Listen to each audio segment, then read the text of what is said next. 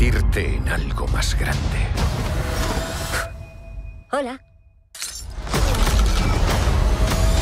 Ha llegado el momento. Una de las series más esperadas del 2021 por fin ha salido a la luz. Arkane, la serie original del emblemático videojuego League of Legends. Ahora familia de Vandal, hablaremos sobre este nuevo fenómeno, de su valoración y creación, de una historia que ya ha dado la vuelta por todo el mundo con idéntico resultado. ¡Espectacular! Bienvenidos a estos minutos para vivir con emoción.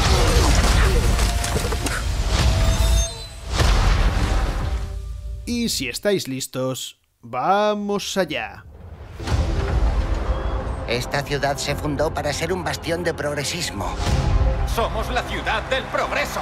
Arkane lo está petando y ya deberíais estar viéndola, la serie de Riot Games y Netflix que está basada en el universo de League of Legends. Y vale, esperad un momento, no quitéis el vídeo si no sois fans del LoL. Si nos dais unos minutos os explicamos de qué va esto de Arkane.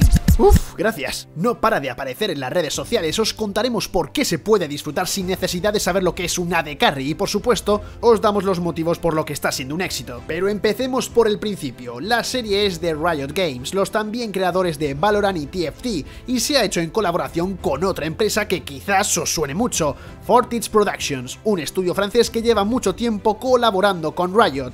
Es decir, una gran suma para un gran triunfo. Seguro que tú o alguno de tus amigos habéis visto el vídeo musical que hicieron del personaje de LOL Jinx, que lleva más de 102 millones de visualizaciones, pero también os puede sonar de un cortometraje que hicieron con la banda Gorillaz para promocionar las zapatillas Converse. El talento es tal que Marvel Studios los contrató para la animación de la serie Rocket and Groot, los personajes de Guardianes de la Galaxia. Cierto es que el talento no está solo en la producción ni en la dirección, sino también en los actores y las actrices que dan voz a los personajes, tenemos a Hailey Steinfeld quien puso voz a Spider-Woman en Into the Spider-Verse, o incluso Ella Purnell que da vida a Jinx, si os suena es porque apareció en la reciente El Ejército de los Muertos, más nombres como Kevin Alejandro, Katie Lung, Harry Lloyd, en fin, la lista sigue y sigue y es espectacular. ¿Pero de qué va Arkane? Hace tiempo fuimos una tribu. Ahora somos casas divididas. Resumiendo mucho, se nos cuenta la historia de dos ciudades hermanas con situaciones sociales y económicas muy distintas, Piltover y Sound, la primera de una gran urbe steampunk repleta de aristócratas y la segunda, unos suburbios donde sus habitantes forman una comunidad estrecha. Entre las dos siempre ha habido mucha tensión, pero el descubrimiento de una tecnología revolucionaria y de un peligroso narcótico provocarán un conflicto real. Probablemente estéis pensando que el concepto es muy similar a otras películas, series o incluso videojuegos que ya habéis visto. Y os preguntaréis por qué se ha convertido en la serie mejor valorada de la historia de Netflix. Sí, sí, habéis oído bien. En Rotten Tomatoes tiene un 100% de críticas positivas de la prensa especializada y en IMDb un 94 sobre 100 tras más de 11.000 votos.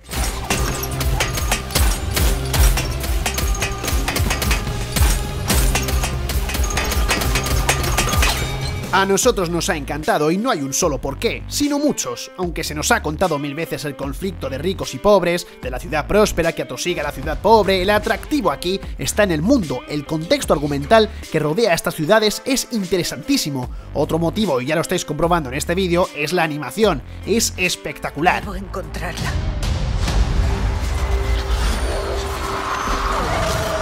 Pero dejamos para el final lo más importante, Arkane es una serie de personajes, de su evolución, de sus conflictos internos, de su relación, de sus dramas, de la búsqueda de su lugar en el mundo. Es una serie que consigue que nos importe el destino de Jinx, Vi, Jace, Victor, Caitlyn y muchos otros campeones de League of Legends que protagonizan la superproducción. Aunque no faltan persecuciones ni combates, el pozo que se le queda a uno tras ver la serie es que le han dado bastante fuerte la patata y quizás hasta hayas derramado alguna lagrimilla. Imagen y música increíblemente detallada, ágil, expresiva y sobre todo con muchísima personalidad. No nos tiembla la voz al decir que es la producción animada más impresionante que hemos visto en nuestro televisor.